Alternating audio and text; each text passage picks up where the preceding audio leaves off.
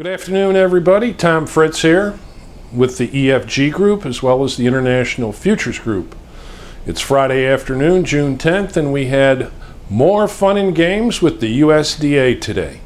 Uh, today, the USDA was going to update supply demand as well as give us uh, wheat crop estimates. Supply demand had a little bit of everything, meaning uh, old crop carryout on corn came in less than expected, better usage last year. Uh, that was a friendly item. The kicker was, however, that the USDA chose not to change the yield for uh, new crop projections. Everybody was thinking, well, given the downturn in crop conditions, maybe the USDA would fool with the uh, yield for the coming year. Well, they chose to leave it alone at trendline yield. So, for the next month or so, we're going back to uh, guessing games as far as what's the yield going to be on the August field survey report. So in the meantime, you know, we're going to be guessing, we're going to be watching weather, you know, what developments we're going to have there. Will the USDA reduce harvested acres given what's transpired, excuse me, in the eastern corn belt? So a lot of guesswork going forward. Uh, but uh, the trade uh, briefly uh, traded uh, the higher uh, than expected production number for new crop, but the market quickly reversed itself and made new highs for the current move. So you know, how do you feel? What should our yield be? Well, you're going to have a month to figure that out.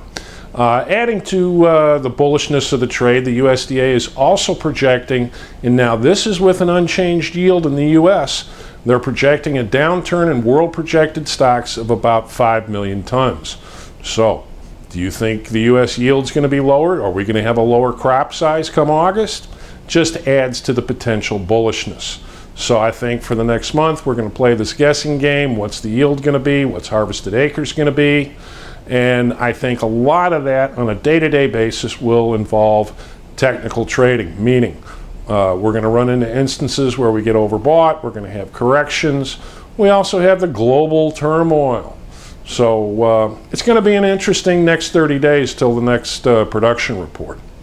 Uh, looking at the bean trade, uh, the USDA lowers the old crop bean carryout more than expected, better disappearance. Um, but if you look at the numbers and you don't see the, the all the categories, the uh, USDA raised crush 15 million bushels old crop, raised exports 15 million bushels old crop. But then they show a decrease of 75 million bushels in the old crop projected carryout. That's because they added 44 million bushels to the residual column. What's the residual column? That's the column where they put numbers that they're not ready to explain at this time. So my guess is come the January uh, final report, you will see that last year's uh, soybean crop was indeed overstated.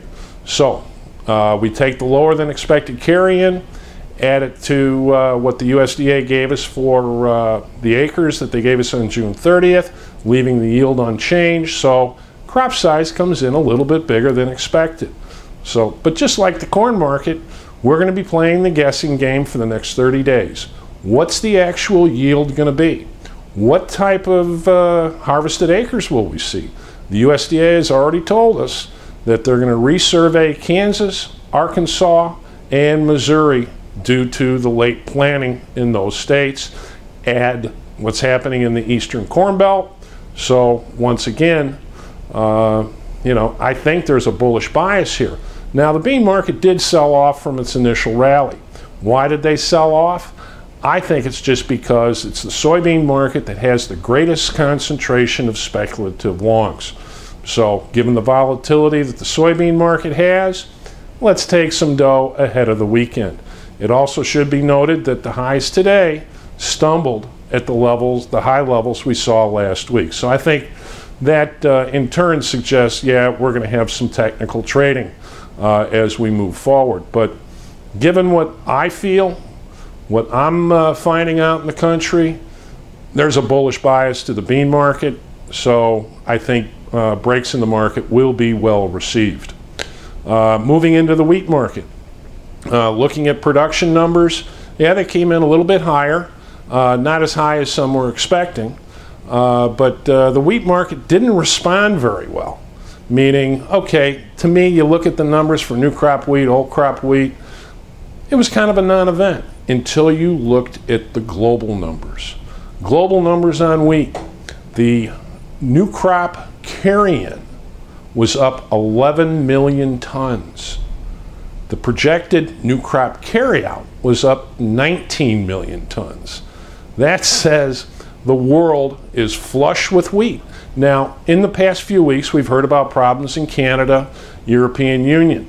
Well, with these carry-in numbers that they've added, and those carry-in numbers go back all the way to the 2012-13 crop year.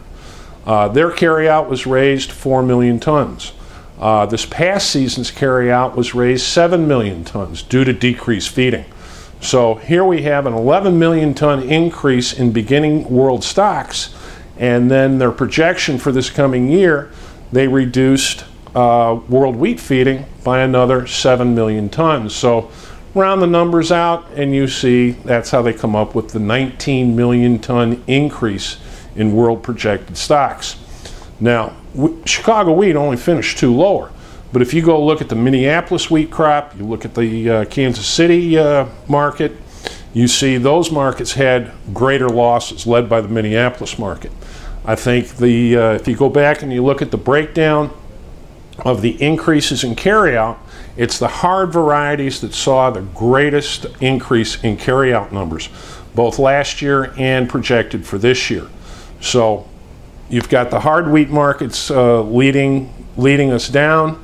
And as far as I'm concerned, the only reason Chicago wheat stayed alive was some intermarket spreading amidst those uh, three markets. But you know, given the world numbers that uh, the USDA is projecting for wheat, there's not much of a story here.